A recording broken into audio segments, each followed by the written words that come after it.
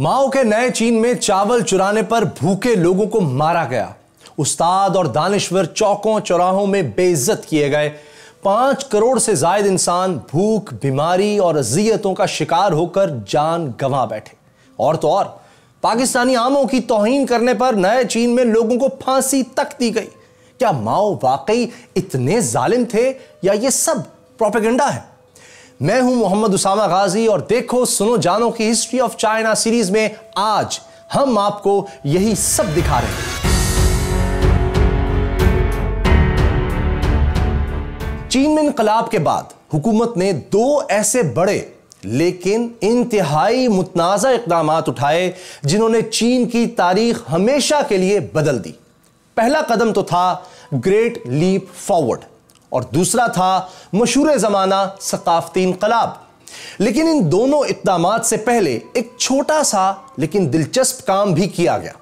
آپ کو یہ سن کر شاید ہنسی آئے، لیکن ماؤ نے چینی قوم کو حکم دیا کہ پورے ملک سے چوہوں، چڑیوں، مکھیوں اور مچھروں کا مکمل خاتمہ کر دیا جائے۔ اس حکم کا مقصد یہ تھا کہ ایک تو چین سے بیماریوں کا خاتمہ ہو جائے گا، دوسرے چوہوں اور چڑیوں سے فصلوں کو نقصان بھی نہیں پہنچے گا۔ یہ مہم انیس سو اٹھاون میں شروع ہوئی تھی اور چند ماہ کے اندر اندر چینیوں نے ٹنوں کے حساب سے چوہے، چڑیاں، مکھیاں، مچھر بھی مار ڈالے اور ان چاروں جانداروں کا چین سے صفایا ہی کر دیا گیا۔ چینی قوم نے جانوروں اور کیڑے مکوڑوں کا صفایا تو تیزی سے کر لیا، لیکن اب ان کے سامنے ایک اور بڑا چیلنج کھڑا تھا۔ مسئلہ یہ تھا کہ چین چونکہ ایک زرعی اور غریب ملک تھا، اس لیے صنعتوں میں ساری دنیا سے پیچھے تھا۔ انڈسٹری لگانے کے لیے مشینری کی ضرورت تھی، جس کے لیے پیسہ ہی نہیں تھا۔ ماؤ نے اس کا ایک انوکھا حل نکالا، جسے جدید چین کی تاریخ میں گریٹ لیپ فارورڈ یا آگے کی طرف عظیم چھلانگ کہا جاتا ہے۔ ماؤ نے یہ طے کیا کہ انیس سو ستر تک چین کو سٹیل کی پیداوار میں اتنا آگے لے جانا ہے کہ وہ ترقی میں برطانیہ کو پیچھے چھوڑ دے۔ اور اس کے لیے انہوں نے پورے ملک میں سٹیل کی بھٹیاں بنانے کا حکم دیا، خاص طور پر دیہات میں۔ ماؤ نے حکم دیا کہ کوئی بھی شخص خواہ وہ کسان ہے، دکاندار یا سرکاری ملازم، وہ اپنے کام سے فارغ ہو کر ان بھٹیوں میں کام کرے گا۔ حتیٰ کہ خواتین کو بھی حکم دیا گیا کہ وہ گھر کے کام چھوڑ کر بھٹیوں میں کام کرے۔ ان بھٹیوں کے ساتھ پبلک کچن قائم کر دیے گئے تاکہ تمام لوگوں کو کھانا بھی وہیں سے ملے اور انہیں گھروں میں کھانا نہ پکانا پڑے۔ کسانوں کو حکم دیا گیا کہ وہ اپنے کھیتوں کی اضافی پیداوار حکومت کے حوالے کر دیں تاکہ اس خوراک کو پبلک کچنز میں استعمال کیا جا سکے۔ چنانچہ پوری چینی قوم کام پر لگ گئی اور اس میں اہم بات یہ تھی کہ ایک بھی شخص کو فارغ بیٹھنے کی اجازت نہیں تھی۔ سارے چین میں ان بھٹیوں پر یہ پوسٹر بھی لگا دیے گئے کہ ہم انیس سو ستر تک سٹیل کی پیداوار میں برطانیہ کو پیچھے چھوڑ دیں گے۔ ساتھ ہی ماؤ نے یہ اعلان بھی کر دیا کہ وہ غیر ملکی طاقتوں سے تجارت تو کریں گے، لیکن امداد نہیں لیں گے۔ ماؤ کا یہ اقدام تو زبردست تھا، لیکن شاید قدرت کو ابھی چین کی ترقی منظور نہیں تھی۔ گریٹ لیپ فارورڈ کا آغاز انیس سو اٹھاون میں ہوا تھا، لیکن آئندہ دو برس کے اندر چین میں ایک زبردست قحط پڑ گیا۔ ایک تو یہ ہوا کہ ملک میں بارشیں نہ ہوئیں، دوسرا یہ کہ کسان اپنا زیادہ تر وقت سٹیل کی بھٹیوں میں گزارنے کی وجہ سے زیادہ فصلیں پیدا نہ کر سکے وہ خوراک کا پرانا سٹاک پہلے ہی حکومت کو دے چکے تھے۔ دوسرا یہ کہ بارشیں نہ ہونے سے تین کروڑ بیس لاکھ ایکڑ زمین پر کوئی فصل پیدا نہ ہوئی۔ نتیجہ یہ نکلا کہ لوگ بھوکے مرنے لگے۔ یہی نہیں، چینی قوم کو یہ احساس بھی ہو گیا کہ انہوں نے چڑیاں اور مکھیاں مار کر بہت بڑی غلطی کی ہے، کیونکہ چڑیاں فصلوں کی مخصوص سنڈی کو کھا کر فصلوں کی حفاظت بھی کرتی تھیں۔ چنانچہ بعد میں چین دوسرے ملکوں سے چڑیاں درامد بھی کرتا رہا۔ بہرحال، جب قحط نے زور پکڑا تو چینی حکومت ہاتھ پر ہاتھ دھرے نہیں بیٹھی رہی۔ اس نے فوری طور پر چھ کروڑ کسانوں طلبہ اور فوجیوں کو نئی نہریں کھودنے اور پانی کے ذخیرے بنانے پر لگا دیا۔ لیکن مرض بڑھتا گیا، جوں جوں دوا کی۔ پانی کے نئے ذخیروں سے تھوڑا بہت فائدہ تو پہنچا، لیکن قحط مکمل طور پر ختم نہ ہو سکا۔ اب صورتحال یہ تھی کہ ملک میں خوراک اتنی کم تھی کہ پبلک کچنز میں بھی کھانا نہیں ملتا تھا۔ لیکن اس کے خوفناک حل یہ نکالا گیا کہ حکام نے پبلک کچنز تک بیمار اور بوڑھے لوگوں کی رسائی روک دی۔ حتیٰ کہ کئی جگہوں پر تو بچوں کو بھی کھانا نہیں ملتا تھا۔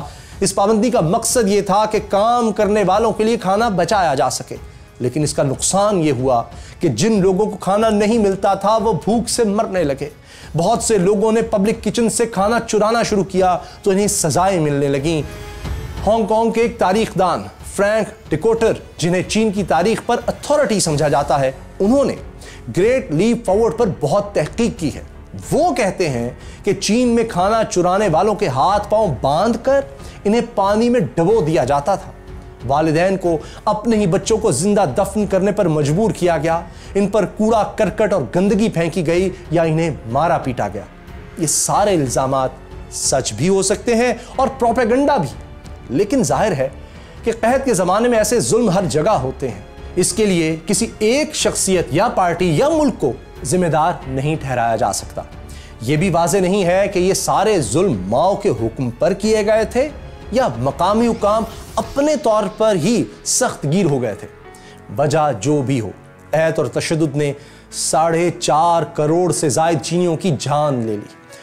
مغربی ممالک میں آج بھی ماؤ کو ہی ان ہلاکتوں کا ذمہ دار ٹھہرایا جاتا ہے۔ لیکن حقیقت یہ ہے کہ ماؤ کو جلد ہی اندازہ ہو گیا تھا کہ کسانوں سے فیکٹریوں میں کام کرانا درست فیصلہ نہیں تھا۔ گریٹ لیپ فارورڈ کا منصوبہ جو پوری نیک نیتی سے شروع کیا گیا تھا، انیس سو باسٹھ میں ختم کر دیا گیا۔ کسان فیکٹریاں چھوڑ کر کھیتی باڑی کی طرف لوٹ گئے، لیکن تب تک ماؤ کی حکومت بہت غیر مقبول ہو چکی تھی۔ مغربی ماہرین تو یہ بھی کہتے ہیں کہ اگر چین اور بھارت کی جنگ نہ ہوتی تو شاید ماؤ کے لیے حکومت کرنا ہی مشکل ہو جاتا۔ لیکن اس جنگ نے ان کی شہرت پھر سے بڑھا دی تھی۔ بہرحال، حقیقت یہ ہے کہ انیس سو باسٹھ تک یعنی انقلاب کے تیرہ سال بعد بھی چین کا انقلاب سمل نہیں پا رہا تھا اور حکومت کی مشکلات بڑھ رہی تھی اس دوران چین کو تائیوان سے بھی دو جنگیں لڑنا پڑی، جن میں چین کو اور بھی نقصان پہنچا۔ چونکہ چین تائیوان کو اپنا حصہ سمجھتا تھا اور ہے، اس لیے انیس سو پچپن میں ماؤ نے اعلان کیا کہ تائیوان کو آزاد کرایا جائے گا۔ ہم ہسٹری آف چائنا کی چوتھی قسط میں آپ کو بتا چکے ہیں کہ کیسے چانگ کائی شیک نے تائیوان پر اپنی حکومت قائم کر لی تھی۔ اب ماؤ تائیوان کو واپس لینا چاہتے تھے۔ ماؤ کے حکم پر چینی فوج نے انیس سو پچپن میں حملہ کر کے تائیوان کے زیر کنٹرول کچھ چھوٹے جزیروں پر قبضہ کر لیا۔ اس کے جواب میں امریکہ نے اپنا بحری بیڑا بھیج دیا اور چین کو ایک بار پھر ایٹمی جنگ کی دھمکی دے ڈالی۔ امریکہ نے تائیوان سے فوجی معاہدہ بھی کیا اور اسے سیبر تیاروں سمیت جدید اسلحہ بھی سپلائی کرنا شروع کر دیا۔ انیس سو اٹھاون میں جب چینی فوج نے دوبارہ تائیوان کی طرف پیش قدمی شروع کی تو تائیوان سیبر تیاروں کو میدان میں لے آیا۔ چین کے ایک سو مگ تیاروں کا سامنا تائیوان کے بتیس سیبر تیاروں سے ہو گیا۔ اس خوفناک لڑائی میں تائیوان نے چین کے گیارہ مگ تیارے مار گرائے اور چھ کو شدید نقصان پہنچایا۔ سیبر تیاروں کے پاس امریکی سائیڈ وائنڈر میزائل تھے جو مگ تیاروں کو دور سے نشانہ بناتے تھے۔ جبکہ چینی تیاروں میں یہ صلاحیت نہیں تھی۔ یہ فضائی جنگ میں میزائلوں کا پہلا استعمال تھا۔ اس شکست کے بعد چین کو معلوم ہو گیا کہ وہ جدید ٹیکنالوجی کے بغیر تائیوان کو ہرا نہیں سکتا، چنانچہ اس نے مزید حملہ روک دیا۔ تائیوان کی جنگ اور گریٹ لیپ فارورڈ کی ناکامی ماؤ کے لیے ایک بڑا چیلنج بن گئی تھی۔ اب چین میں بہت سے لوگ سوچنے لگے کہ ماؤ اصل میں ناکام ہو چکے ہیں اور ان کے نظریات غلط ہیں۔ ماؤ کا سب سے بڑا نظریہ یہ تھا کہ چینی قوم میں ہر شخص دوسرے کے برابر ہے۔ ہر شخص کو صرف اور صرف ریاست اور قوم کی بہتری کے لیے کام کرنا چاہیے۔ ماؤ کے اس نظریے سے بہت سے لوگ اتفاق نہیں کرتے تھے۔ خاص طور پر یونیورسٹیوں میں بہت سے پروفیسر اور لیکچرار بھی ان کے خلاف تھے۔ ان لوگوں کا ماننا تھا کہ معاشرے میں لوگ مختلف ہوتے ہیں اور ان کا سماجی رتبہ بھی مختلف ہونا چاہیے۔ یہ لوگ دولت جمع کرنے کے بھی حق میں تھے۔ ادھر دیہات میں بہت سے کسان ایسے تھے جو اپنی اگائی ہوئی فصلوں سے خود فائدہ اٹھانا چاہتے تھے اور انہیں ریاست کے حوالے کرنے پر تیار نہیں تھے۔ ماؤ کی اپنی پارٹی میں بغاوت ہو چکی تھی۔ گریٹ لیپ فارورڈ کی ناکامی کے بعد ماؤ کے اختیارات بھی کم ہو گئے تھے۔ اس دوران چین میں ایک تھیٹر ڈرامہ پیش کیا گیا۔ اس ڈرامے میں دکھایا گیا تھا کہ کیسے بادشاہت کے دور میں ایک افسر کو حکومت پر تنقید کی وجہ سے نوکری سے نکال دیا گیا تھا۔ ماؤ نے یہ ڈرامہ دیکھا تو انہیں لگا کہ ڈرامہ بنانے والوں نے باتوں ہی باتوں میں ماؤ پر تنقید کر دی ہے۔ چنانچہ ماؤ نے فیصلہ کیا کہ پارٹی سے باغیوں کا بھی صفایا کیا جائے گا اور وہ لوگ جو دولت جمع کر رہے ہیں یا ماؤ کے ویژن کے خلاف ہیں، انہیں بھی سزا دی جائے گی۔ اس موقع پر ریڈ گارڈز ان کے بہت کام آئے۔ یہ ریڈ گارڈز وہ جوشیلے نوجوان تھے جو ماؤ کے ڈائی ہارڈ فینس تھے۔ ملک بھر سے ایسے کروڑوں نوجوان جمع کیے گئے۔ ان نوجوانوں کو ماؤ کی ایک کتاب دی گئی تھی، جس کا نام تھا ماؤ کی کہی ہوئی اچھی باتیں۔ اس کتاب کو اپنے سرخ کور کی وجہ سے ویسٹ میں لٹل ریڈ بک بھی کہا جاتا ہے۔ سرخ رنگ، چونکہ کمیونزم کی بھی علامت ہے، اس مناسبت سے ان نوجوانوں کو ریڈ گارڈز کا نام دیا گیا۔ ریڈ گارڈز نے نعرہ لگایا کہ انہیں ماؤ کے نظریات کے علاوہ اور کچھ نہیں چاہیے۔ ماؤ کے مخالفین کے نظریات، مذہب، مغربی تہذیب اور چین کا پرانا کلچر سب کچھ غلط ہے۔ چنانچہ جو بھی ماؤ کے خلاف بولے گا، مغربی کلچر اپنائے گا یا چین کی پرانی تہذیب زندہ کرنے کی کوشش کرے گا، اس کا خاتمہ کر دیا جائے گا۔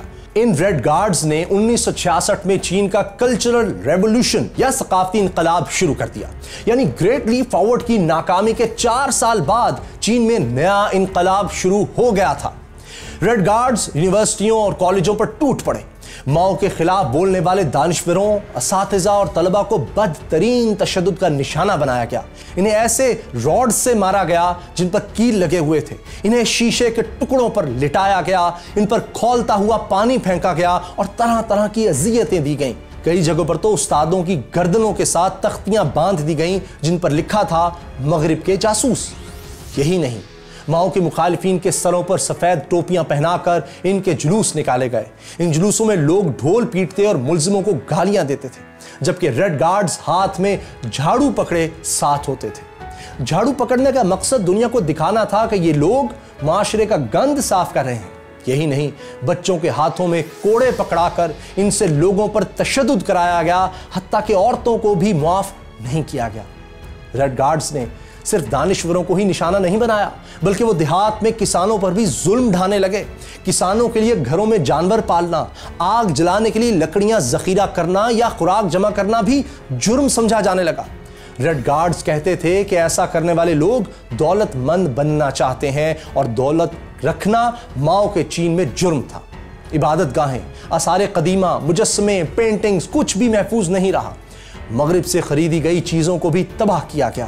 ریڈ گارڈز کے ان اقدامات پر لوگ سوال کرتے تھے کہ اگر تم مغربی تہذیب کو غلط کہتے ہو تو پھر کاریں، بجلی کا سامان وغیرہ بھی تو مغرب کی ایجادات ہیں۔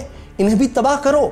لیکن ایسے سوال کرنے والوں کو بھی دھمکیوں اور تشدد کا سامنا کرنا پڑتا تھا۔ ریڈ گارڈز نے کمیونسٹ پارٹی کے پچاس لاکھ لوگوں سے بھی کڑی تفتیش کی۔ کہا جاتا ہے کہ ان میں سے پچھتر ہزار لوگوں کو ماؤ کے خلاف نظریات رکھنے پر قتل کیا گیا۔ حکومت مخالف سرکاری افسر بھی نشانہ بنے۔ چین میں حالات اتنے خراب ہو گئے تھے کہ ملک بھر میں عوام ریڈ گارڈز کے خلاف نکل آئے اور جگہ جگہ خون خرابہ شروع ہو گیا۔ کئی جگہوں پر تو حکومت مجبور ہو گئی کہ وہ فوج کو ریڈ گارڈز پر گولی چلانے کا حکم دے۔ دوسری طرف، کچھ فوجی دستے ملک میں بڑھتی ہوئی خونریزی دیکھ کر بغاوت پر اترائے اور ماؤ کے مخالفین سے جا ملے۔ یوں لگتا تھا کہ پورا چین خانہ جنگی کی لپیٹ میں آ جائے گا۔ ماؤ کے لیے سب کچھ بہت تکلیف دہ تھا۔ ظاہر ہے، انہیں بھی اندازہ نہیں تھا کہ ریڈ گارڈز ظلم کی انتہا کر دیں گے۔ چنانچہ انہوں نے ثقافتی انقلاب کو روکنے کا فیصلہ کر لیا۔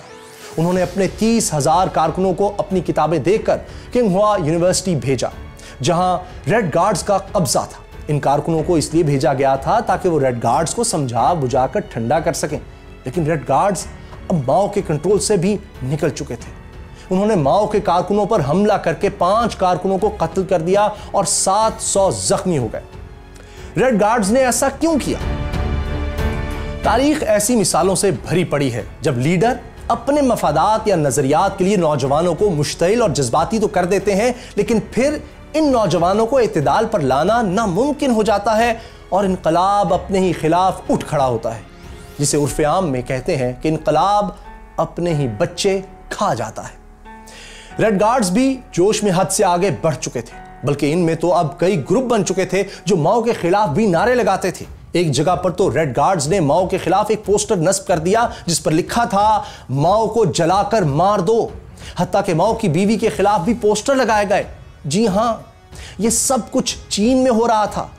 کہا جاتا ہے کہ ثقافتی انقلاب کے دوران اسی لاکھ کے لگ بھگ لوگ مارے گئے یعنی گریٹلی فارورڈ اور ثقافتی انقلاب نے پانچ کروڑ سے زائد انسانوں کی جان لے لی۔ اور ظاہر ہے، اس کا الزام لگا ماؤ پر۔ قریب تھا کہ چین میں خانہ جنگی شروع ہو جاتی، کہ اس دوران پاکستانی وزارت خارجہ کی طرف سے ماؤ کے لیے آموں کا تحفہ آ گیا، جس نے چین میں خانہ جنگی کو ٹال دیا۔ ہوا یوں کہ ماؤ نے آموں کا تحفہ اپنے کارکنوں میں تقسیم کر دیا۔ جب کارکنوں کو آم تحفے میں ملے تو ایک کوہرام مچ گیا۔ سب کارکنوں نے یہی سمجھا کہ ماؤ کی طرف سے آم کے تحفے کا مطلب یہ ہے کہ انہوں نے کسانوں اور مزدوروں کے حق کو تسلیم کر لیا ہے۔ یعنی ثقافتی انقلاب ختم ہو گیا ہے اور اب ریڈ گارڈز کی کوئی حقیقت نہیں رہی۔ پاکستانی آموں کے تحفے چین میں کئی جگہوں پر بھیجے گئے۔ کئی جگہوں پر تو لوگوں نے آموں کو مقدس سمجھتے ہوئے جلوس نکالے۔ آپ کو یقین نہیں آئے گا، لیکن لوگ ان آموں کے سامنے عقیدت سے جھکے۔ چین میں اعلان کر دیا گیا کہ کوئی شخص ان آموں کی توہین نہیں کرے گا۔ اس دوران ایک انتہائی افسوسناک واقعہ یہ ہوا کہ پاکستانی آم کی توہین کرنے پر ایک شخص کو پھانسی دے دی گئی۔ اس کا جرم صرف اتنا تھا کہ اس نے آم کو شکر پندی سے تشبیح دے دی تھی۔ بہرحال، پاکستانی آموں نے چین میں خانہ جنگی کے بھڑکتے شولوں پر ٹھنڈا پانی انڈیل دیا۔ ادھر چینی حکام نے بھی عوام کا موڈ دیکھتے ہوئے زیادہ تر ریڈ گارڈز کو شہروں سے نکال کر دور دراز کے دیہات میں بھیج دیا۔ جو ریڈ گارڈز ماؤ کے خلاف ہو گئے تھے، انہیں بھی آسانی سے کچل دیا گیا۔ یوں انیس سو چھیاسٹھ میں شروع ہونے والا ثقافتی انقلاب دو سال کے اندر اپنے انجام کو پہنچ گیا۔ البتہ کچھ لوگ یہ بھی مانتے ہیں کہ ثقافتی انقلاب کے تحت ماؤ کے مخالفین کو کچلنے کا سلسلہ انیس سو چھہتر تک یعنی ماؤ کی موت تک جاری رہا۔ بہرحال پاکستانی عاموں نے چین کی خانہ جنگی کو ٹال دیا تھا۔ دلچسپ بات یہ ہے کہ ماؤ کو عام پسند ہی نہیں تھے، مگر پاکستانی عام ان کے بہت کام آئے۔ لیکن جب چین میں یہ سب چل رہا تھا، تب چین اپنی فوجی قوت میں حیرت انگیز اضافہ کر رہا تھا۔ چین ایٹمی طاقت کیسے بنا؟ پاکستان کا بہترین دوست اکہتر کی پاک بھارت جنگ میں مدد کیوں نہ کر سکا؟ اور وہ باورچی کون تھا جس نے دو عالمی طاقتوں کی نیندیں اڑا دیں؟ اور ہاں دل تھام کر سنیے، اگلی قسط میں ہم آپ کو ویتنام جنگ اور اس میں چین کے کردار کی کہانی بھی دکھا رہے ہیں۔ ہم نے پچھلی قسط میں آپ سے وعدہ کیا تھا کہ آپ کو امریکہ کی چین کے متعلق خفیہ منصوبہ بندی کے بارے میں بتائیں گے، لیکن اس قسط میں یہ کہانی سنانا ممکن نہیں ہو سکا۔ یہ کہانی ہم آپ کو اگلی قسط میں دکھائیں گے۔ کیا آپ جانتے ہیں کہ چین امریکہ سے جنگ کر چکا ہے؟ اگر نہیں جانتے تو یہاں کلک کیجیے۔ اور اگر آپ عظیم فلسفی سقرات کی دلچسپ بایوگرافی جاننا چاہتے ہیں تو یہاں کلک کیجیے۔ دیکھو سنو جانو کو سبسکرائب کیجیے اور بیل آئیکن پر کلک بھی ضرور کیجیے۔